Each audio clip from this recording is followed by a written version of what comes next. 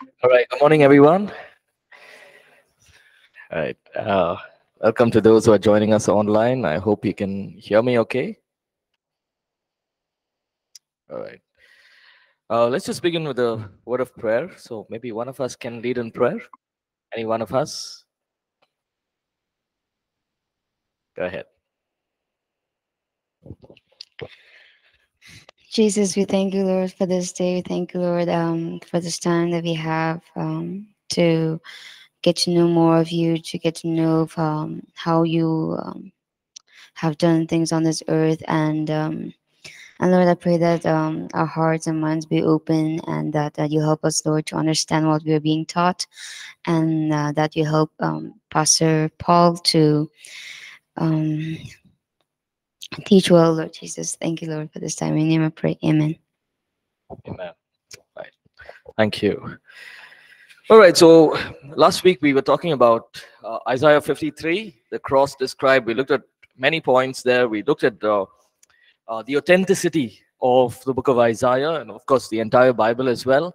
Uh, we talked a little bit about the Dead Sea Scrolls and how these scrolls were found, and they were found word to word perfect uh, uh, to what we are reading right now. Uh, then we looked at a few aspects of how the cross was described from the Old Testament, right? Uh, Isaiah 52 and 53 had a lot of it revealed. Uh, Behold, my servant, then his visage was marred. Uh, uh, he shall sprinkle his blood with many nations, right? So the shedding of blood happened there. The arm of the Lord revealed uh, as a tender plant, a root out of dry ground, meaning his tenderness, his loving kindness uh, was, was displayed in his earthly life. Uh, a man of sorrows and grief. Um, uh, he knew all the while that the cross is some place that he has to go. Uh, Isaiah 53 talks about a man of sorrow and acquainted with grief, and as and we hid so it were our faces from him. He was despised, and we did not esteem him. So was Jesus despised? Yes. Was or was he, you know, glorified as a person? Right. On the cross, he was despised they did not esteem him, right? Uh, then we see he was a man of sorrows and grief. He bore our griefs and our sorrows. Now, just picture this the revelation of the Holy Spirit to a person hundreds of years before. Maybe he did not know what the cross is, right? Now, when we look at it and we say, hey, Isaiah spoke about the cross, but Isaiah didn't know he probably didn't you know the the whole thing of the crucifixion was not yet you know come into place he didn't know but he talks about it he will bear our griefs he will bear our sorrows right and it, it is a wonderful prophecy there and he did it for our peace uh, so now in the old testament there was no peace between man and god right oh, when when the people of israel or in the Old Testament, there was no feeling of, okay, I am with God and God is with me. Why? Because the cross was not yet there. The sprinkling of the blood for the atonement of sin was only done once, right? But there was still this feeling of guilt and condemnation, right? Uh, for through the cross, we find peace, and the iniquity of us all uh, was upon him means all our sins, all our griefs, all our shame, our, uh, you know, uh, the, the place where we had to go was upon him. Right? Uh, and that's where we stopped. Uh, now we'll pick up from as sheep before its shearers. Let's read Isaiah 53 and verse 7. He was oppressed and he was afflicted. Look at the word oppressed there driven as an animal, harassed, distressed, or painfully abused. Right? We, we, we talk about this, no? The spirit of oppression. While we are praying, what do we say? Every spirit of oppression, I bind you in Jesus' name. We pray that? Yes? What is this oppression? Uh, oppression is basically being pressed down. Right? If you, I'm sure all of you must have seen, uh, you know, the cattle working in the fields, right? It's a yoke upon them. Have you seen that yoke? Right? They put that yoke on the on the ox or the uh, or the or the the the cow. What happens? It's an oppression. Right? It's oppressed to do the work. Right? So here he's bringing out that kind of an allegory and he's saying he was oppressed, meaning he was driven out as an animal, harassed, distressed, painfully abused, and he was afflicted which means he was he was looked down he was forced he was treated badly. Hmm? yet he opened not his mouth. He was led as a lamb to the slaughter as a sheep before his shearers is silent. So he opened his mouth not right look at that he he was oppressed for us he was harassed he was beaten he he took on that oppression for you and me right? And he was afflicted. He was treated badly. Uh, now, all this talking about the Lord Jesus years back, right? And it says that as a sheep before its shearers. Now, why is this sheep come into picture, right? We see the Lord Jesus as a picture of a lamb and a lion, right?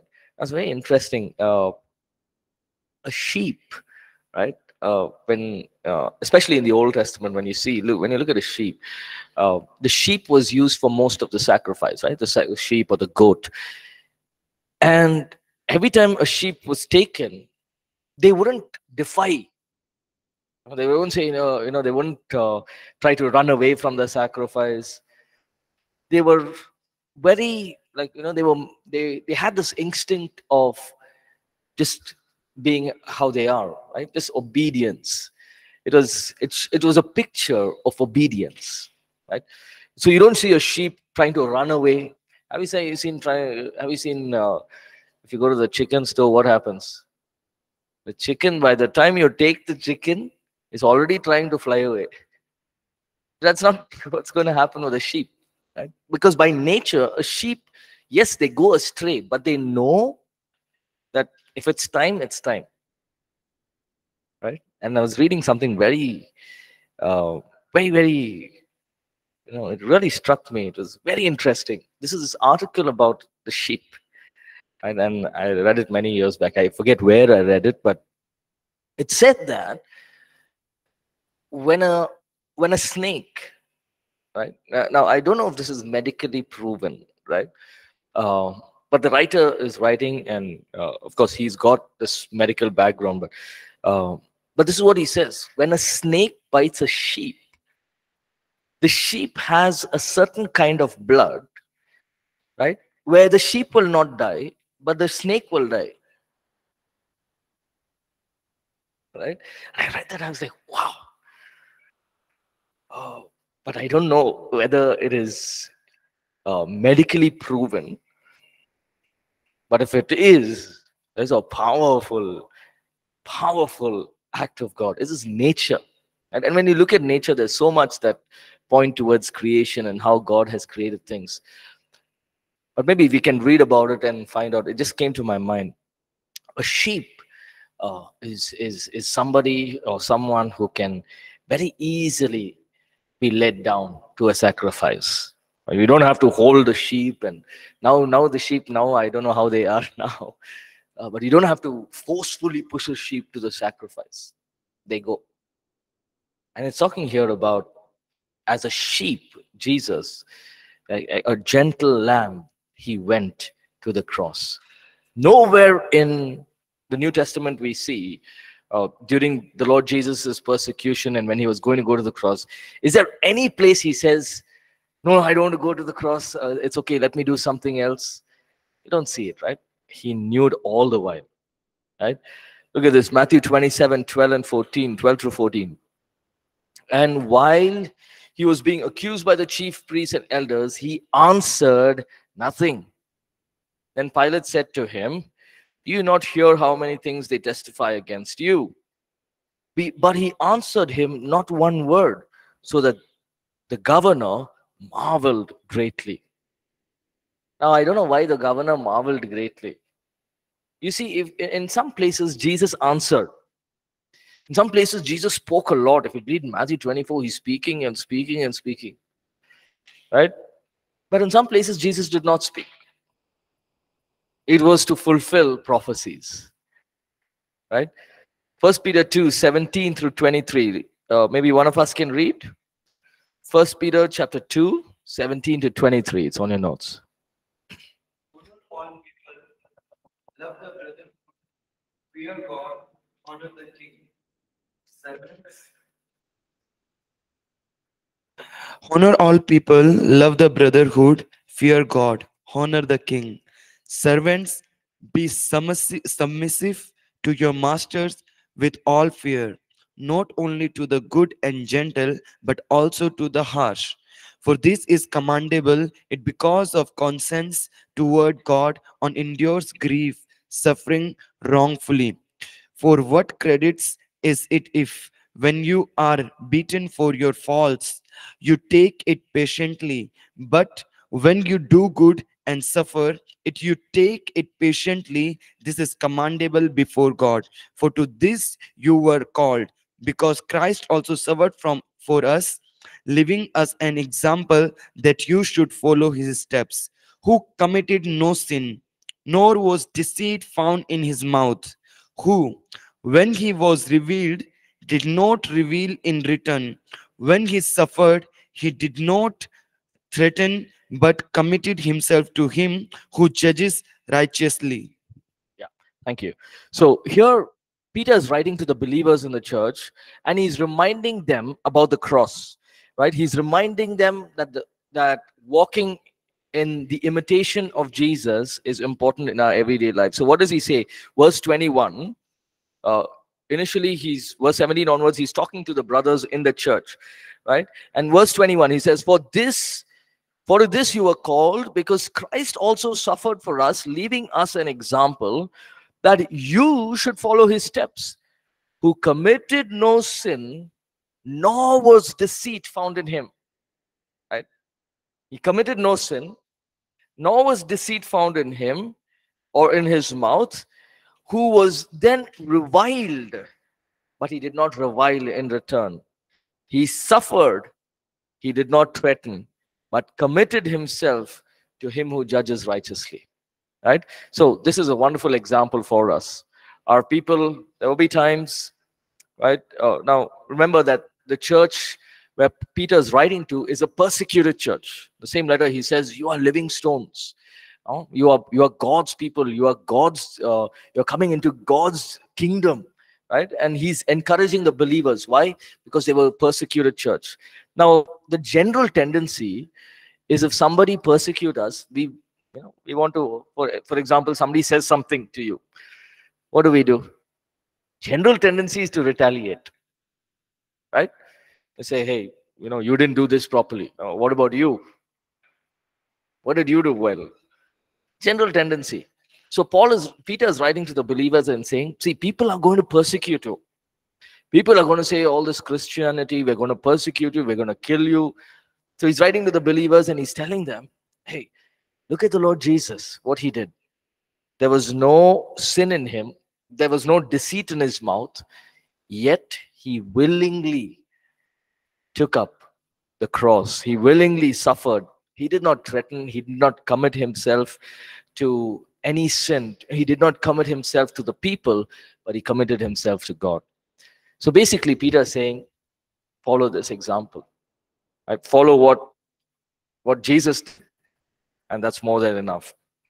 Right? Next one, from prison and from judgment. 53 and verse 8 he was taken from prison and from judgment. And who will declare his generation? For he was cut off from the land of the living. For the transgression of my people, he was stricken. Right? Now, remember Jesus, uh, Matthew 27, Jesus was put into prison.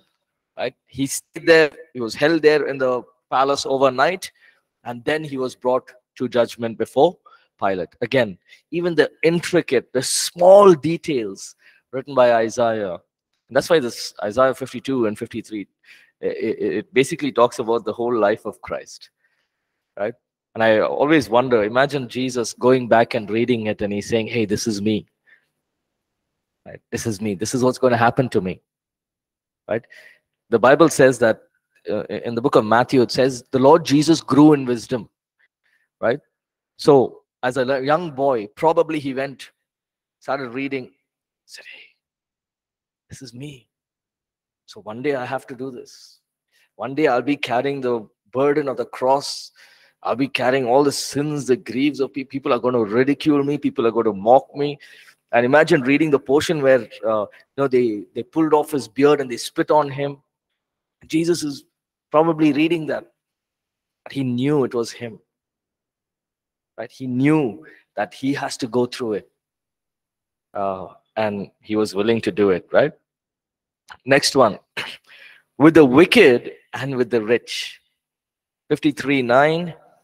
And they made his grave with the wicked, but with the rich at his death, because he had done no violence, nor was any deceit in his mouth.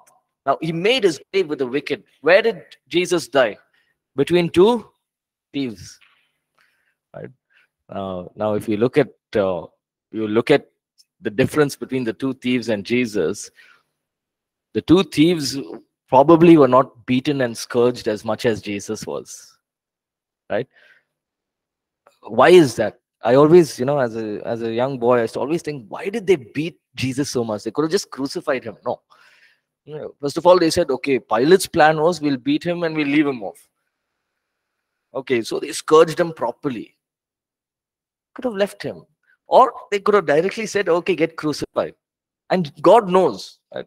okay, crucifixion done.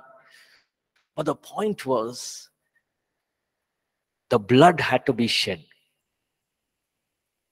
The blood had to go, the, the entire suffering of sin, the entire you know, grief and pain and sorrows had to be taken up by him. So it was not a quick death. It was not something that, you know, okay, just die. That's easy. But God made it in such a way because it is the judgment of God upon his son. And all the judgment was put on this person, the Lord Jesus Christ, as a human being. Right? And historians say that, oh, you know, the, the the whole fact of Jesus carrying the cross and going up to that mountain is physically so difficult after that scourging. Physically, like, remember that he was a normal person, right? He had um, strength, he had weaknesses in his body, right? He needed, he was tired, he was sleepy, he did everything. Right? It's not like Jesus said, okay, you know, uh, now I'm my stomach is full, I can be all right. No, Probably his leg pain from all the walking. Right? On the ship, he was happily sleeping. Maybe he was very tired. Right? And, but we see that you know the historians and theologians say that for him to carry the cross and go up that mountain is is a is a big challenge. I don't know how he did it but he did it. It was because of you and me. That whole the entire judgment of god had to be on him. What if jesus said oh no i cannot please take me to the nearest doctor i'll come back after two days to be crucified no. Once you, you remember what jesus said in the garden of gethsemane to judas? What did he say? Do what you have to do. The time has come now. Do what you have to do. So it was like a you know he was resetting his mind and saying the time is now. No more. I'm going to be you know a person who's going to do all these wonderful miracles and all. I'm going to be a sheep a lamb they will spit at me they will ridicule me they will mock me but i'll keep quiet why because i have to take the judgment of god on the cross how long would it have taken for jesus you know when they were ridiculing him on the cross by saying if you're the messiah come down no from the cross how long would it have taken? Few seconds. Uh, probably Jesus would have said, Father, send two angels. Or he didn't even need angels. He would have just said, "He You just got down from the cross. As simple as that. Could he have done it? He could have done it. But he didn't. As a sheep to the slaughter, so was he. Right? And then we see that with the rich at his death, Joseph of Arimathea, a rich man, pleaded for the body of Jesus. And Jesus was buried in the tomb of Joseph of Arimathea. And finally, uh, Pilate could not could find no fault against him. Right? And there's this book where we talk about, you know, this writer writes and he says, Imagine Pilate. You know, here there's Jesus standing in front of Pilate. Imagine Pilate standing in front of Jesus during the last uh, judgment. What's he going to say? Right? Or forget about Pilate. Imagine these, you know, these people who have, um, you know, persecuted Christians. Uh, what about uh, the Jews who killed about 5 million Jews, Hitler? What are they going to do? They're all going to stand. And this time, it's not going to be a lamb. Right? It's not like Jesus is saying, oh, yeah, whatever you say is fine. Oh? So he's the lion and the us he'll be the lamb. Right? But to others, he'll be the lion. Right? And you'll learn more in eschatology, end times. Okay. He shall see his seed and prolong his days. Isaiah 53 10. Yet it pleased the Lord to bruise him. He has put him to grief. When you make his soul an offering for sin, he shall see his seed, shall prolong his days, and the pleasure of the Lord shall prosper in his hands. Look at that. Yet it pleased the Lord to bruise him. Now, you know, if you have good friends, right uh, and once you you know you get married you have children when your child you know just gets hurt or falls and you know it gets hurt none no parent is pleased. Right? You must have told that child a hundred times don't do this. You may get hurt. But after telling a hundred times when the child falls you're not going to say ah i told you no you'll fall. You will not do that. Why? Because it's your child. No matter what it is you will say you will go and try to look after the child make sure that he's all right. But here it's see you see that the father was pleased to bruise the, the son he was pleased he was happy right can you believe that he was he was pleased to do it why because he knew that this was the sacrifice that was needed for the forgiveness of sins. Otherwise, it's going to be the same old story. Old Testament. What is the story? Cows and bulls, blood sacrifice, same old offerings. It's going to be the same old thing. But this was needed. So God was pleased. Basically, what happened on the cross this is a picture, right, uh, that I'm giving you. Father, Son, three of them together. They are one. Jesus said, The Father's in me, I'm the Father. Yes? And many places we see the Trinity coming together in the baptism. Uh, the Father spoke, the Son, and the Holy Spirit came in the form of a dove. Right? So Jesus walked in the same spirit, the same Holy Spirit that you and I are walking in. Right? Now, what happened on uh, uh, in this whole in this whole uh, time was now the Father, the Son, the Holy Spirit, three are one, but on the cross there was a separation. So he remember Jesus said, uh, "I and the Father are one. Father is in me, I am in the Father." But at the cross there was a separation. And the father is putting all the sin and grief and shame and all the judgment of God upon his son. There was a separation. So when Jesus cried out, Why have you forsaken me?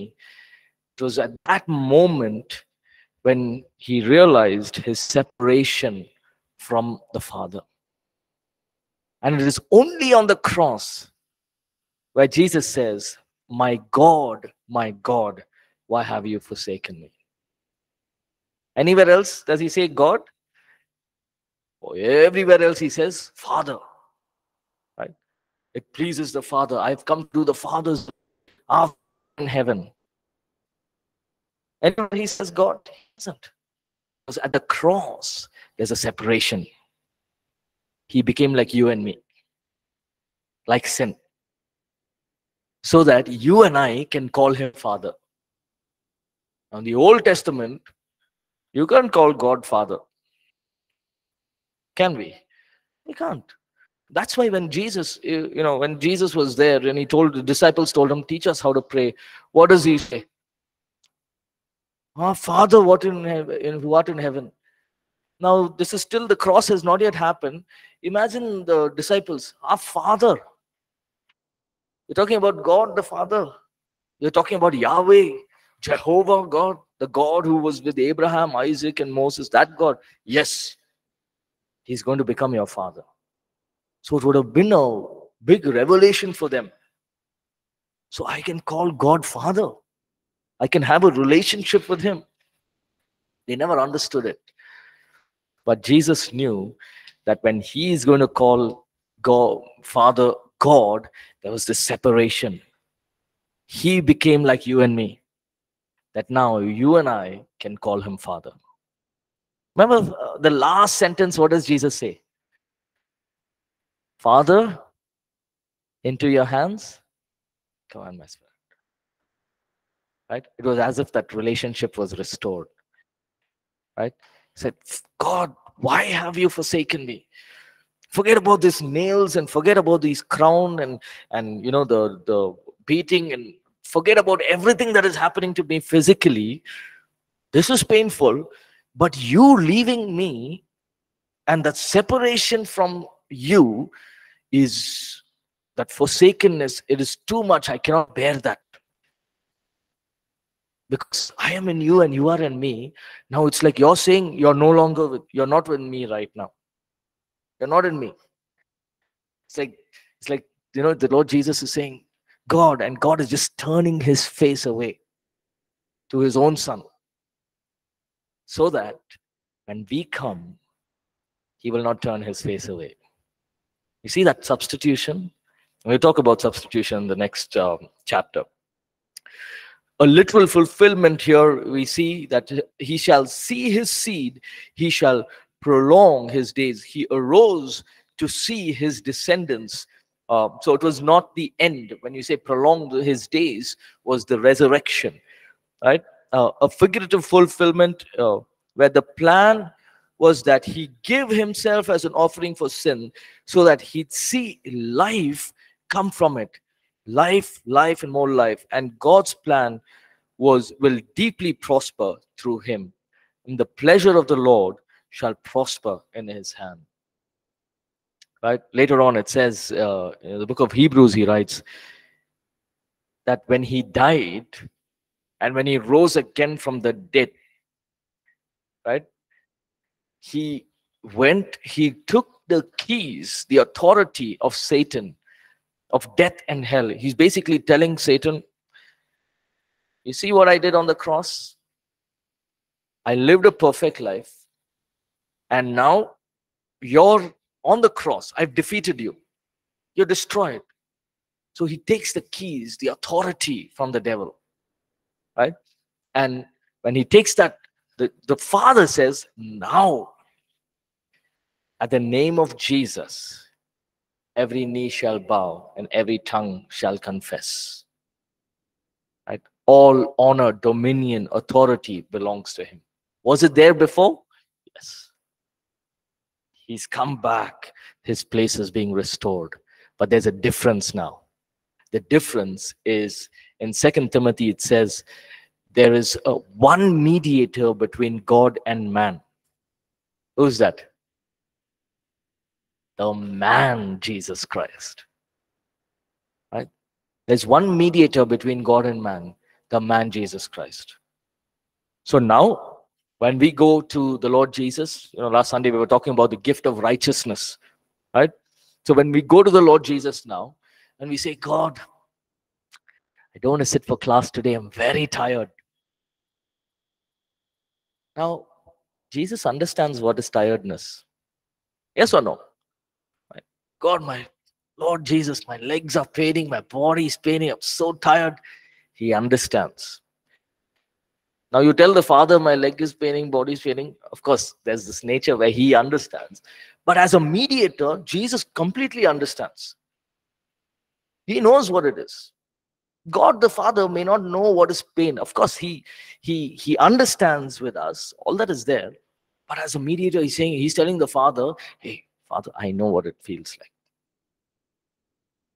And then, you know, there's temptations.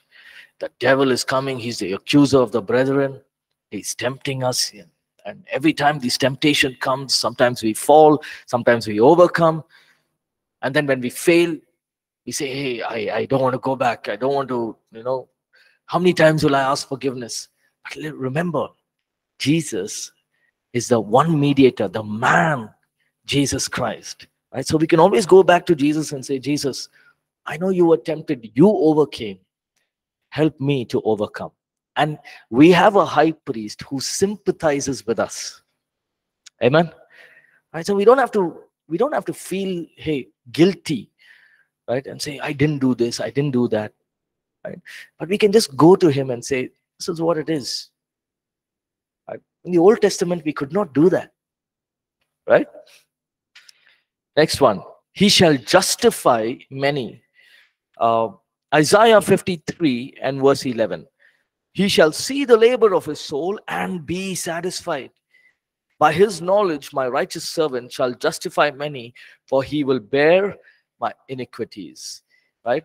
Uh, sin had to be punished, and his sacrifice on the cross, Jesus put, sorry, the Father put every demand of sin, every judgment, everything on Jesus and he was satisfied that he did it. Right? How many of you had a good meal and you're satisfied? Never happened here? But if uh, you know, if you go to a restaurant and you have a good meal, you're just satisfied. What happens? You give that person the you know the costliest food or the tastiest food again. Say no. It looks good.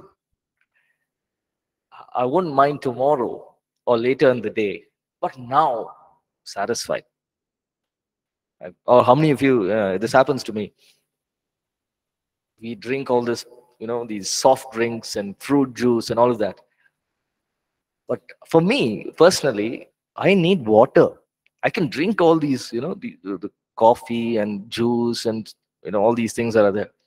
But only water quenches thirst. Yeah. Because the other things can satisfy you for some time. And actually if you see you, have these soft drinks after some time you're even more thirsty. It's just at that moment it just here what does the father say? I have satisfied everything. No more will i have to put judgment upon my people because of what jesus did. Now there's a difference we we were talking about uh, the covenants right if we want, we can walk away from the covenant and say, I don't want. Then what is happening? We are opening ourselves to the enemy. So the enemy is going to come and cause trouble. But if we are in covenant, God has already put every judgment upon the cross. So if things are not going well in our life, it's not the judgment of God. Sometimes God, you know, we must understand that God has his ways of dealing with things and he has plans he has ways uh, how to open doors for us. Of course all of us now we want to be in ministry want to do something. Uh, if god says okay initially you go uh, arrange the chairs in church it's not judgment of god. It's just that god is you know opening up a door. You know yesterday um, we were talking to uh, after the you know, the prayer here uh, was talking to uh, some of them here and they said uh, hey, how did you learn playing the cajon? I said, I don't know. What happened was when we were in Mangalore, right? We had a lot of worship leaders, like two, three worship leaders. So what I did was I started playing drums a little bit, very little. I don't know much. So just little, just to keep the beat, right? I, I don't know the technical terms and all that. But I did that for three and a half years.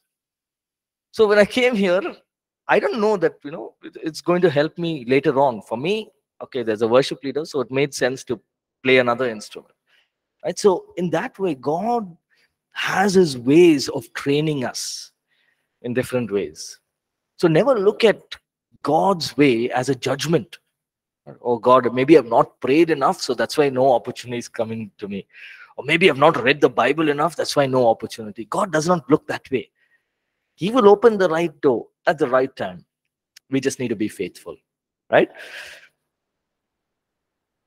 By the, by His wisdom, the Lord put to naught the wisdom of the world, and we talked about this as well. Um, the wisdom of the cross being far greater than the wisdom of the world. Why is it wisdom? All across from the Old Testament, if you see, God is a God of wisdom?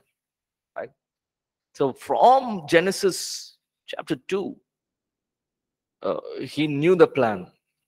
He knew everything that he was going to do. So it was it was the wisdom of God.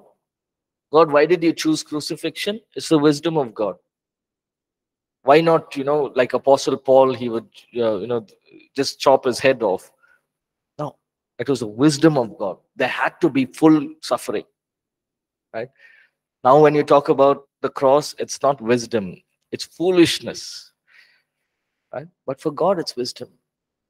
But when god did this through the cross when he uh, came up with this whole uh, you know the cross and sins of the world being on this person it is it may look and sound foolish for some of us, but it's the wisdom of God. Even now, you know, yesterday we were, you know, uh, during the prayer, we heard about how these wonderful revival movements, and even now, uh, yes, it's true, Punjab is seeing a huge harvest. How is it? Is it because uh, you know, these are you know probably uh, you know i was reading this article uh, that india today article which pastor was talking about carpenters they'll go plumbers plumbers and carpenters they work the whole day right whatever in the uh, uh, in their shops or in apartments. They work the whole day carpenters and plumbers. During the workplace they are talking to other believers other people bringing them to christ. Every evening they have prayer for three hours right? And every sundays they have four or five services. Who's the pastor? Carpenter. Right? Or a plumber they hardly know anything about the bible right of course now uh, what people are doing is because of the revival people are traveling there providing them resources providing them teachings but they are saying no we don't want anything. All we need is God. Right? All we need is we don't want your finances. We don't want your money. We don't want anything. How it how it's going on, let it go on. So there's this article, and uh, this plumber, plumber, you know, the plumbers, the guys who fix water taps and all of it. He, uh, uh, in one of the rural parts of uh, Punjab, started you know, just like a small church. And right now there are 400 to 500 people coming to his to the church. Now the best part is they have open fields. So they pay the owner, or if they are the owner, then it's good. But they pay the owner and say, you want to use the field. There is no mic system. There is no LED screen. There's no stage. One person standing and preaching you know they were they were saying that you know uh, god supernaturally gave strength to these people where when they spoke 300 400 people could hear right and eventually of course they got speakers and all but initially they could hear is there something which the holy spirit cannot do you know sometimes we we think oh we need all of this god is above that what did jesus do when he stood on that mountain he spoke to 5000 people no mixer no analog digital mixer, no in ears, nothing. He spoke. They all heard. 5,000 people. Can he do it now? He can do it now. Right? And you should read about it. Go to Google and read about this. It is true. It, it, what God is doing in India. Only thing is, I think yesterday somebody sent me a video where this news channel, uh, they come to a Christian program in North India, right? They come to this Christian program and say, uh, why have you you you become Christians? You're making uh, India as a nation. You're making it a. Uh, you're not making letting it become a you know uh, the nation that it has to be a Hindu nation. You're you're you know you're all are becoming Christians, and these guys are fearless in the interview. Maybe I'll share the video uh, that was sent to me. Fearless, right? They're saying this is I think last week. They're saying why should we become? We will do what we want to do and the reporter saying, then we'll take you to jail, take me to jail. And these guys are, you know, they're so strong.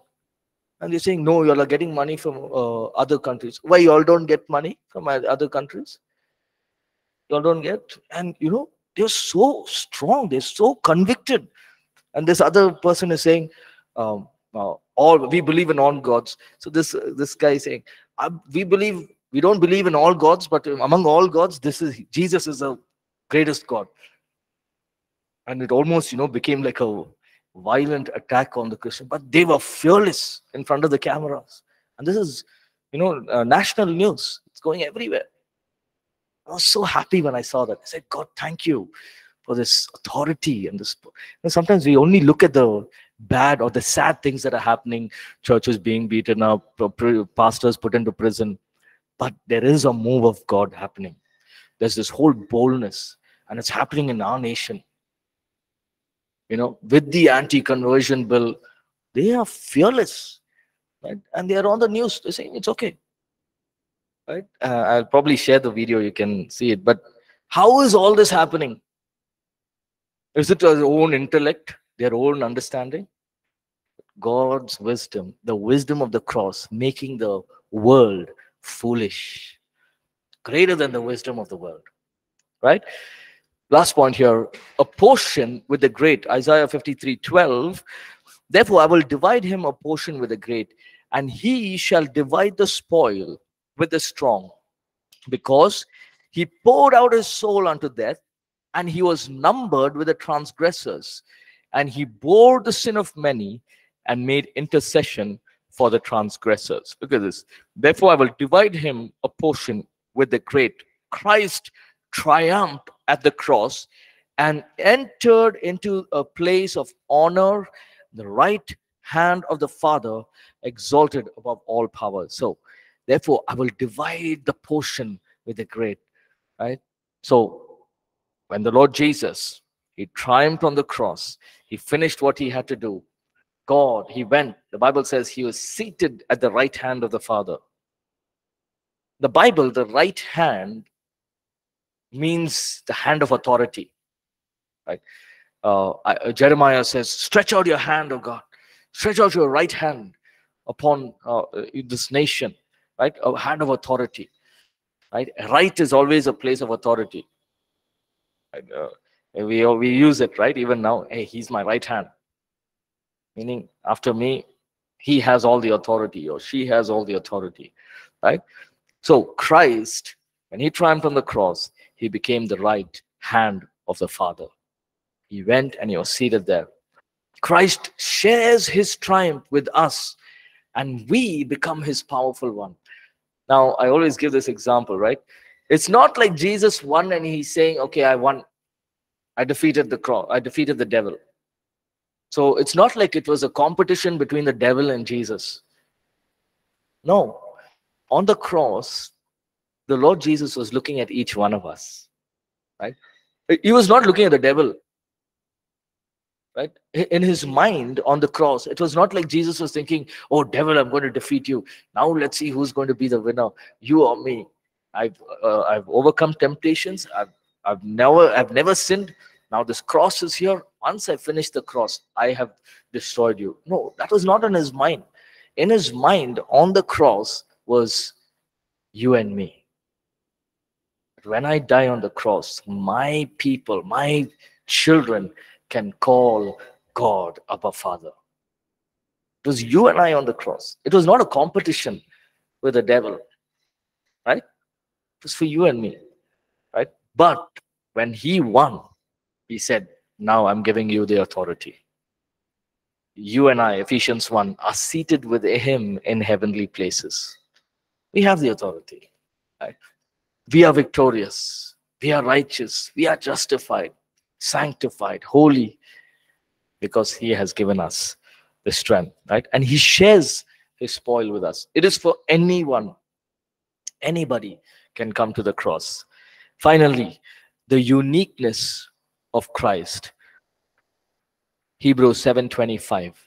Therefore, he is also able to save to the uttermost those who come to God through him, since he always lives to make intercession for us. While on the cross, what did Jesus do? Father, forgive them, for they don't know what they're doing. He stood as an intercession for his own accusers. Now, he's doing the same thing. He's standing next to the Father and he's making intercession. What is he doing? He's saying, God, Father, this, this boy or this girl, this is his weakness. But give him the strength. Give him an opportunity. He will believe in me. He will, you know, do the work of the ministry. Or maybe he's called to do this. Right now, he's turning away. Don't put your judgment upon him. Remember the cross. Remember the blood that was shed. What is the Father doing? It's like this, okay? This is a person, and God is looking at the judgment. When when the Father looks at judge at, at sin, what must he do? What does the Father do when he looks at sin? He has to bring his righteous judgment, right? When there's sin, the Father brings judgment. But all of a sudden, Jesus comes and stands in between him and the Father. Jesus is standing. Now, Jesus is saying, he's weak, he's tired, he, he's, he's not able to overcome temptations. It's okay. Give him some time. Don't pass your judgment on him. Right? I'm just painting a picture for you.